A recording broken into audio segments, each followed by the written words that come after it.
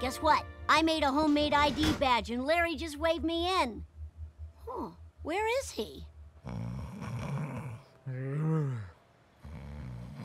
Oh, man, what a gig. Homer's got it made.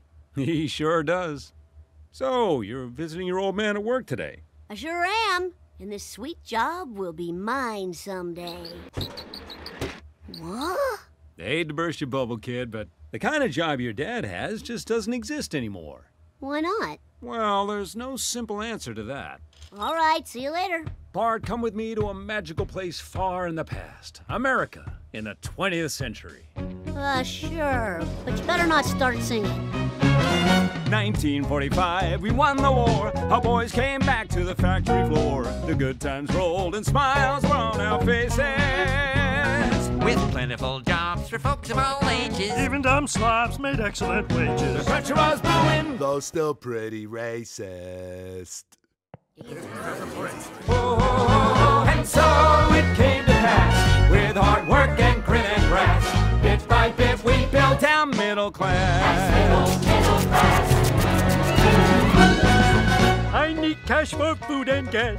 Black like posters, beer and grass. Time for me to join the middle class. Oh, boy, that middle class. Go join the middle class. Well, I'm not smart, I'm not a go getter. My drinking problem's not getting better. What job could I possibly do? Nuclear safety inspector. Woohoo! Your dad and his buddies had it swell, but gradually it all went to hell. Factories closed, unemployment would spike. Here to explain it is Robert B. Reich. The decline of unions, rampant corporate greed, Wall Street malfeasance, and the rise of short sighted politics all contributed to increased economic inequality, widespread real unemployment, wage stagnation, and a lower standard of living for millions of Americans. They chopped salaries to raise stock prices. Cut up the pie and kept all the slices. Tax breaks went to CEOs, never trickling down to average Joes. And so it came to pass, Greedy rich men kicked our ass. Fiddling while they burn our middle class. All right, thanks for the history lesson, nerds. But what does any of this have to do with me? You see, my dad's still working, and I want to be just like him. I'm sure you do, but there's something else you need to learn. And my friend here is happy to teach you. Oh, you. For days you've been dying to say something. Just spill it. You want a job like that? Too bad, so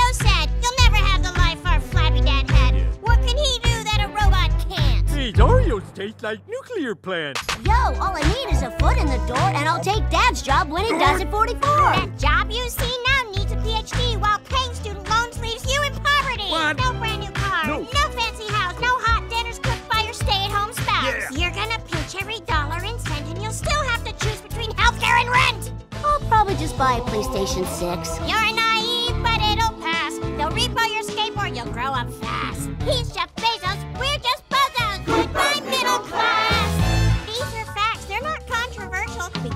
afford what they sell in this commercial.